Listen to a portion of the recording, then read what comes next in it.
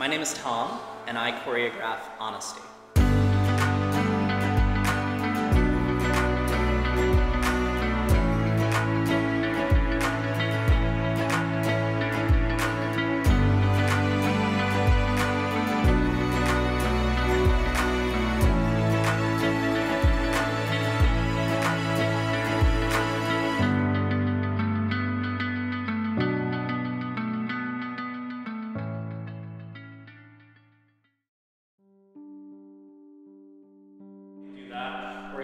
Examine how muscles in the back and forwards quarter bra, how lengthen the fingers allows for the arms to look longer.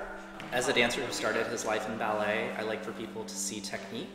I like for people to see artistry, but mostly I want people to see art on stage that they can relate to, that they can connect to. The focus is just really for, it's for the person watching.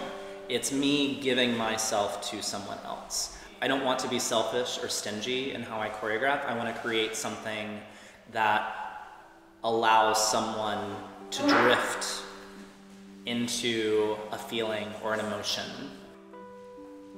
Something that I think enhances what I do as a choreographer is I'm always listening and I'm always learning.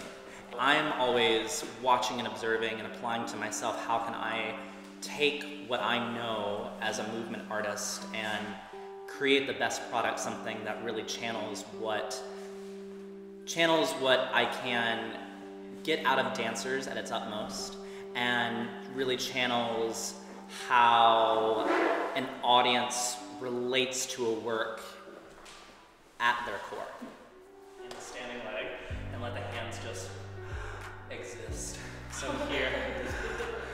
What I love about dance is when it's honest.